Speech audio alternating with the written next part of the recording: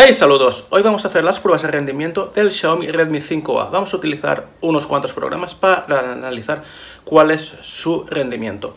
Si quisierais que hiciese alguna prueba más, pues lo dejáis en la zona de comentarios y lo podremos hacer y comprobar, ¿de acuerdo?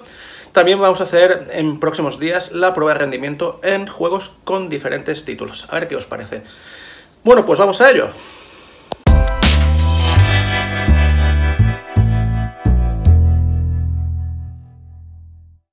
Pues vamos a comenzar con el Antutu Benchmark. Vamos a darle. Pero antes vamos a comprobar un poco sobre el dispositivo. Vemos que es un Xiaomi Redmi 5A y tiene un procesador Qualcomm Snapdragon 425.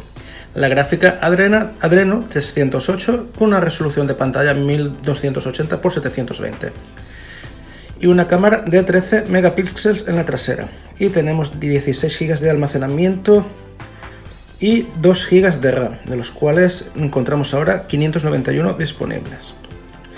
Aquí tenemos un poco más sobre la arquitectura del procesador. Y bueno, pues vamos a pasar ya a lo que es el test.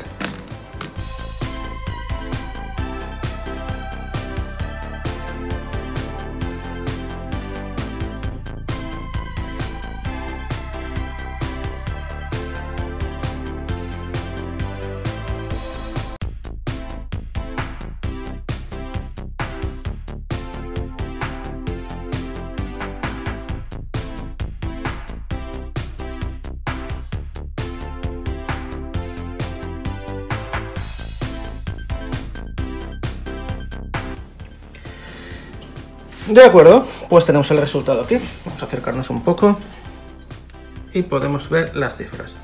Tenemos un total de 43.427 puntos y un uso de CPU del 23.050.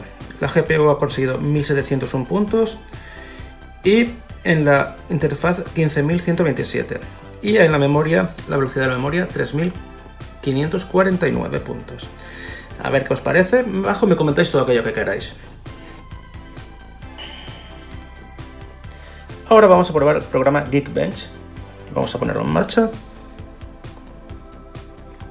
Y aquí nos dice que tenemos un Redmi 5A con Android 7.1.2 y un procesador ARM Qualcomm. Vamos a darle al inicio de la prueba.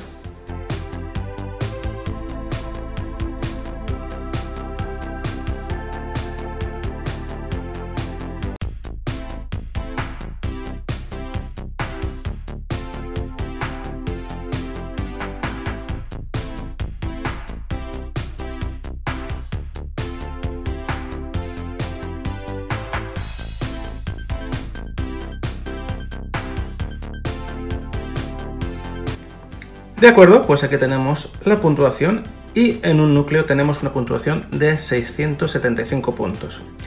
Y en multinúcleo pues tenemos una puntuación de 1853 puntos.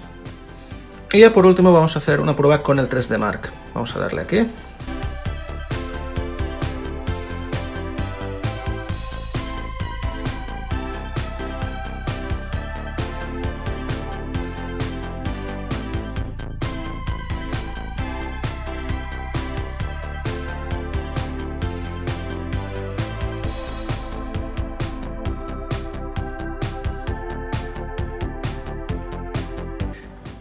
De acuerdo, pues tenemos aquí los resultados y tenemos una puntuación de 55.